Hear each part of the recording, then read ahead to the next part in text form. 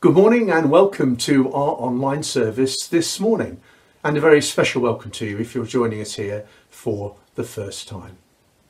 We're going to be continuing our series of talks on Christian fellowship, and Jonathan will be talking to us later on about that.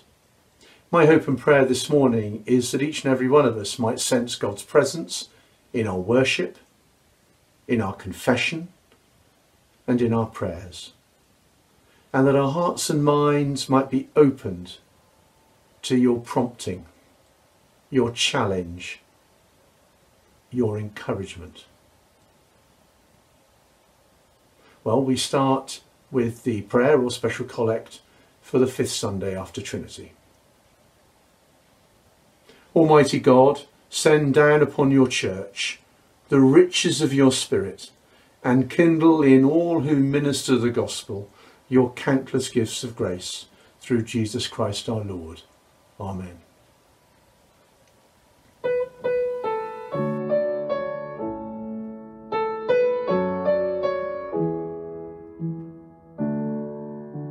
Everyone needs compassion, a love that's never failing.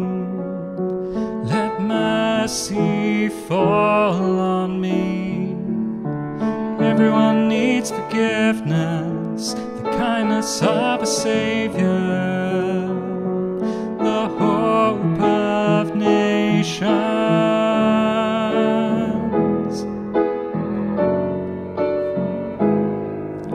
Savior, He can move the mountains. My God is mighty to save, He is mighty to save author of salvation. He rose and conquered the grave. Jesus conquered the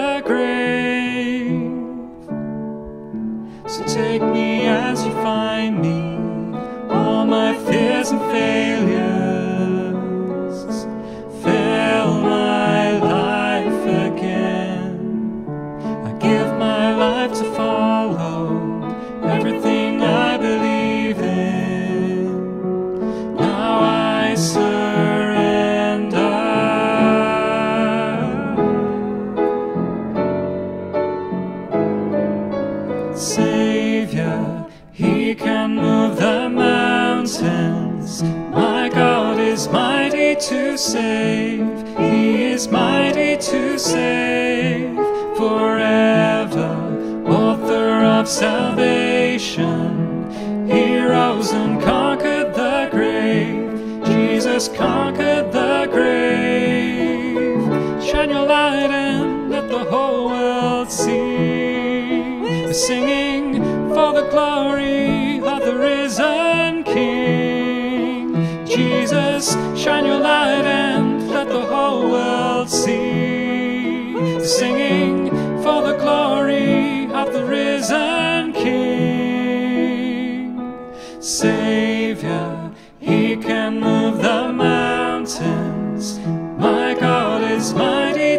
save. He is mighty to save forever. Author of salvation. He rose and conquered the grave. Jesus conquered the grave.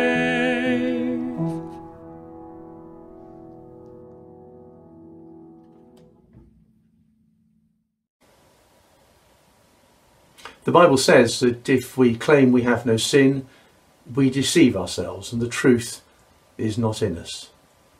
But if we confess our sins, God will forgive us and cleanse us from all unrighteousness. So let us now join together in confession. God of all grace, we confess before you this morning. Forgive our ingratitude for all you have provided, our impatience with the needs of others, our words and actions that have hurt others, the thoughts that have not honoured you. When we have not sought your will, but our own, the things we have left undone, neglected to say or do. We have all fallen short in our lives. You promise to forgive all those who truly repent. So this morning, my prayer is that you forgive each and every one of us our sins, even our sins, that we may live the lives that we proclaim, made right with you through our Lord Jesus Christ. Amen.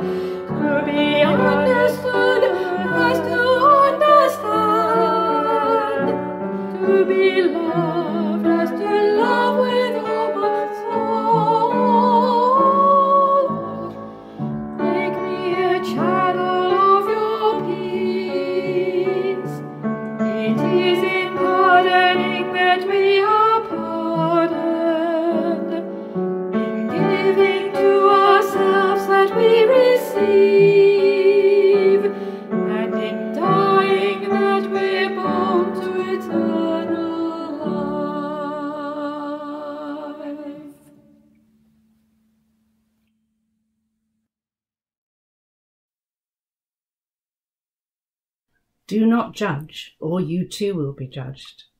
For in the same way as you judge others, you will be judged. And with the measure you use, it will be measured to you. Why do you look at the speck of sawdust in your, in your brother's eye and pay no attention to the plank in your own eye? How can you say to your brother, Let me take the speck out of your eye, when all the time there's a plank in your own eye? You hypocrite! First take the plank out of your own eye, and then you will see clearly to remove the speck from your brother's eye. If your brother or sister sins, go and point out their fault, just between the two of you. If they listen to you, you've won them over. But if they will not listen, take one or two others along, so that every matter may be established by the testimony of two or three witnesses. If they still refuse to listen, tell it to the church. And if they refuse to listen even to the church, treat them as you would a pagan or a tax collector. Truly, I tell you, whatever you bind on earth will be bound in heaven, and whatever you loose on earth will be loosed in heaven. Again, truly I tell you, that if two of you on earth agree about anything they ask for, it will be done for them by my Father in heaven. Well, let me add my welcome to that of Julian. And as we now come to think of these verses, uh, let's ask for the Lord's help. Let's uh, pray. Lord God Almighty, our loving Heavenly Father, as we now come to think of these verses, as we come to listen carefully to the words of Jesus, please help us to hear.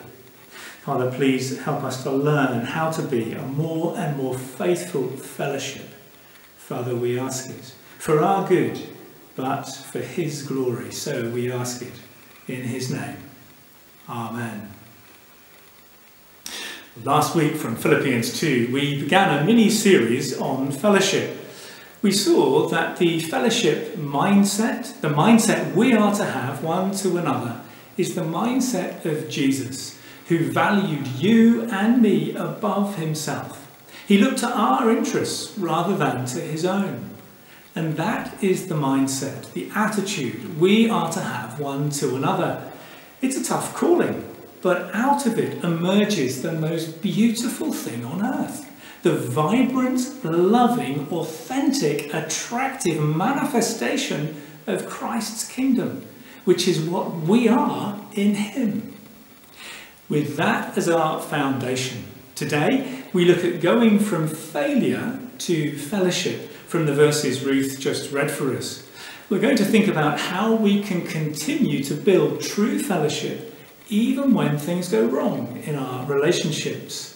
The two particular areas of failure we're thinking about are judging others and what we must do when someone sins against us. Let's look at this problem of judging others. Matthew chapter 7, verse 1. Do not judge, or you too will be judged. It's a pretty clear statement. But is Jesus really saying we must never judge at all? Well, let's be careful and allow Scripture to clarify what Jesus is and what he's not saying here. Just later in verse 6, Jesus says, Do not give dogs what is sacred. Do not throw your pearls to pigs. A little later still, in verses 15 and 16, Jesus says, Watch out for false prophets. By their fruit you will recognize them. How are we to discern who are the dogs and pigs and false prophets unless we judge, unless we make careful distinctions based on doctrine and deeds? Jesus is instructing us to judge what is true and what is false. So Jesus isn't saying we must never judge, but what is he saying? Well, it becomes clear, both from the, the wider context of the Sermon on the Mount and from what he goes on to say here, he says the issue is hypocrisy. And the reason we can be hypocritical is our blindness. Let's look at verses 1 and 2 together. Do not judge, or you too will be judged. For in the same way as you judge others, you will be judged. And with the measure you use, it will be measured to you. Jesus is reminding us when it comes to judging others, the standard is universal. It's not one standard for you and another for me. There is one standard. When we judge someone for gossiping, we declare gossiping to be wrong. And so it doesn't matter who you are. Whenever you gossip, you are condemned. And the principle is true whenever we criticise or condemn, whatever way we judge others. Uh, when we see it like this, it's obvious. But why is it so hard to see these things in ourselves? Because, Jesus says, we are blind. Verses 5, 3 to 5. Why do you look at the speck of sawdust in your brother's eye and pay no attention to the plank in your own eye?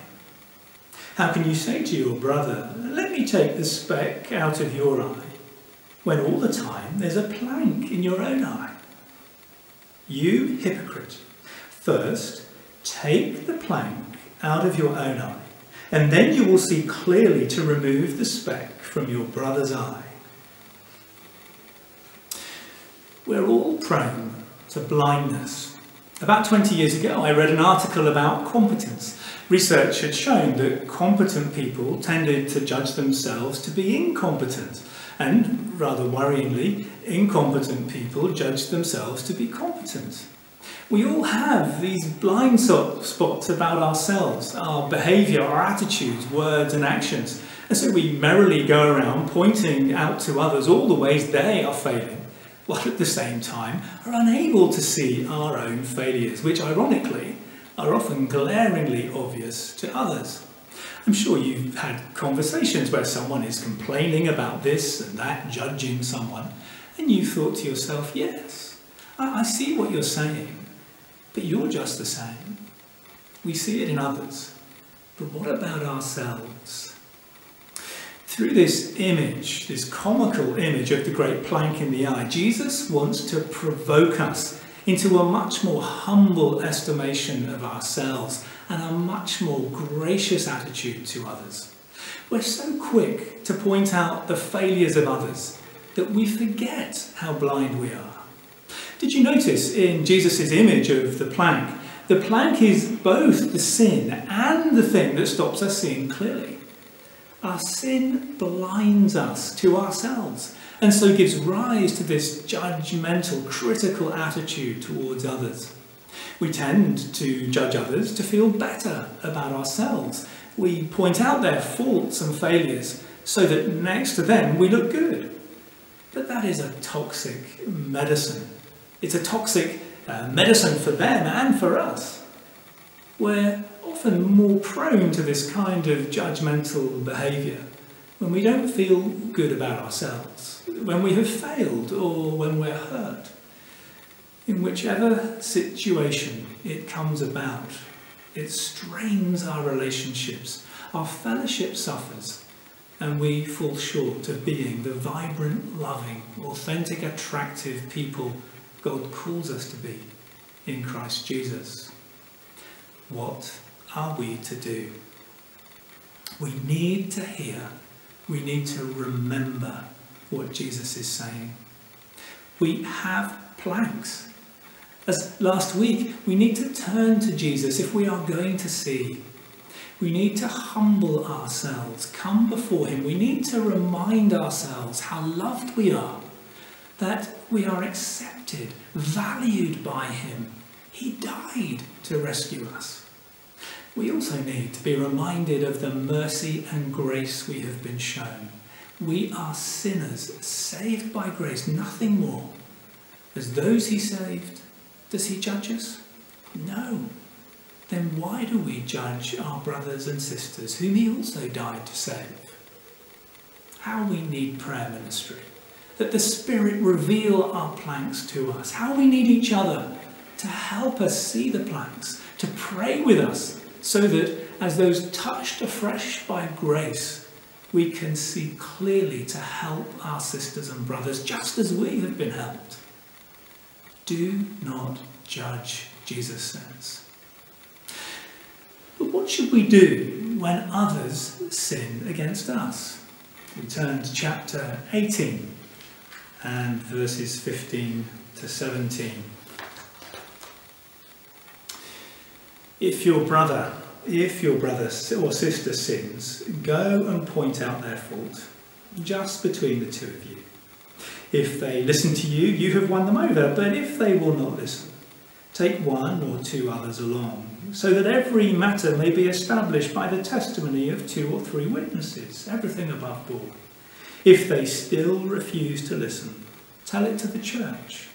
And if they refuse to listen even to the church, treat them as you would a pagan or a tax collector. I think it's wonderful that Jesus, knowing we're not perfect, has given us so simple a roadmap to go from failure to fellowship, to restore our fellowship when our relationships go wrong. And yet, as simple as this roadmap is, even if it sometimes needs to escalate to involve others in the fellowship, the church leadership perhaps, the typical train of events is someone will upset someone else with some harsh words, some abrasive attitude, with an outburst of anger. And the next thing that happens is that it is talked about around the fellowship. Jesus is very clear that is not the way. The truth is, it's much easier to tell a friend, to seek sympathy, to recruit allies, to draw up battle lines than it is to go and speak in humility, with courage and love, seeking to make known the hurt, to reveal the sin, and through apology and forgiveness, restore fellowship. Genuinely, to apologise takes humility, To acknowledge where we're wrong, to seek forgiveness, puts us in the other person's debt as we wait for them to forgive us. Uh, To forgive is costly. To forgive means laying down any right we feel we have to retaliate, to make the, the other person suffer for what they have done to us. But again, did Jesus retaliate or did he go like a lamb to the slaughter that we might be forgiven? Jesus has given us this prescription to go from failure to fellowship. How we dishonour him and all he did for us if we gossip, if we don't take full advantage of it to honour him as those he saved. So if someone comes to tell you about what someone else has done, pray with them, support them, but tell them to go and speak to the other person in humility, with courage and love, genuinely to seek restored fellowship. And if someone comes to you to tell you how you wronged them, hurt them, listen with love. If an apology is due, apologise freely, with no buts, no conditions. Now, I'm not suggesting for a moment this is easy. Some sins wound deeply, and the process of restored fellowship can be lengthy. Some sins may require us forgiving time and time again as we struggle to let go. But this is the way Jesus has given us so that we may go from failure to fellowship and so build his body, the local church. As we prepare to meet together, God willing, soon, let's commit to prayer, to growing in the fruits of the Spirit, showing greater love, joy, peace, forbearance, kindness, goodness, faithfulness, gentleness, and self control, valuing each other above ourselves, that we would more and more be the people God calls us to be in Jesus Christ. Amen.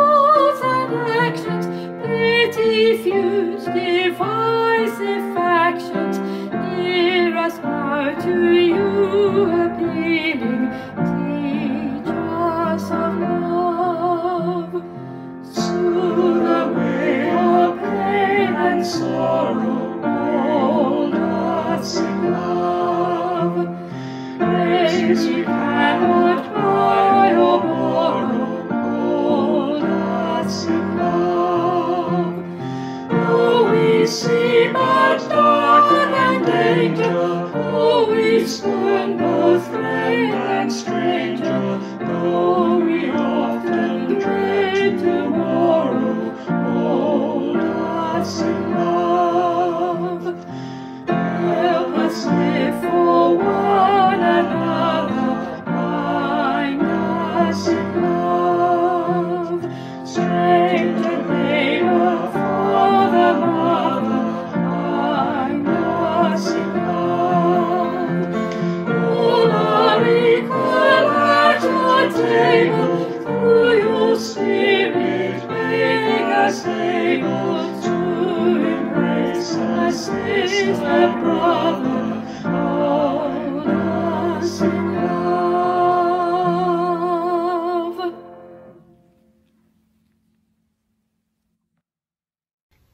Let us pray. As we rejoice in this new day, so may the light of your presence, Father God, set our hearts on fire with love for you now and always. Gracious Father, give us wisdom to understand more, a willingness to seek you with our whole heart, patience to wait for you, eyes to behold you, a heart to meditate on you, and a life to proclaim you through the power of your Holy Spirit. Dear Lord, in these times of uncertainty, as lockdown eases and life begins to take on a new way. Help us not to be fearful, but help us to be wise and sensible in the way we choose to start to do things again. We pray that everyone will take responsibility to behave in a way that is respectful and thoughtful, not putting ourselves or others or the country at risk by ignoring government advice and risking spreading the virus again. Please help us to be patient. We pray for all the amazing workers in the NHS who served with deep commitment and loving kindness in the most demanding situations to help save lives and at the same time risking their own lives. We have heard how exhausted many of them are now the crisis is over and how they are left with trauma and deep sadness.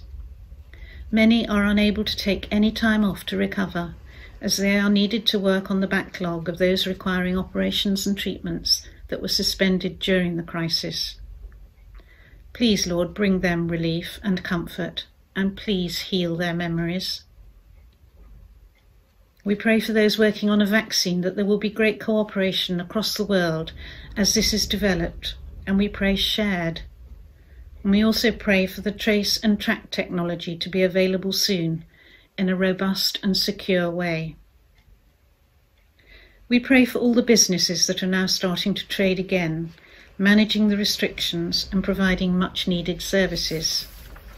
We particularly remember those in the Shepton area, that they will be well supported as regular and new customers return, and that any financial losses incurred during lockdown will not prevent them trading again. May they be encouraged by our local community visiting the shops again. We pray for the church and especially our own church and those who lead us. We pray for Jonathan, Emma, and Zachariah, for Tony and our readers, Matthew, Julian, Albert, and Jill. We pray for our church wardens, Nick and Vaughan, and Helen, our administrator, all who have worked so hard in keeping the family of the church together and supported, both spiritually and practically, during this time. We especially pray for wisdom as they work through the ways of reopening the church and how to hold services in the future. We long for a time when we can worship together again and be with our friends. We continue to pray, Father God, for you to send us a children's and family worker we ask that you give wisdom and guidance for the way ahead in our search for the right person. Help us to trust that your timing is always right and that you will provide. Lord, we ask you to help us seek out opportunities to work for better understanding and tolerance between people of different religious backgrounds, different social backgrounds, different racial and political backgrounds and we pray especially that these views will not lead to bitterness and hatred between us. We remember the example of the Good Samaritan, who reached out to someone outside his own religion and culture, and may this be an example to inspire us to go beyond our own comfort zones and help and understand those in need, regardless of them being different to ourselves. And finally, Lord, we entrust into your tender care all those who are ill or in pain, asking that you will hold them safe and that you will comfort and heal them and restore them to health and strength through Jesus Christ our Lord. Amen.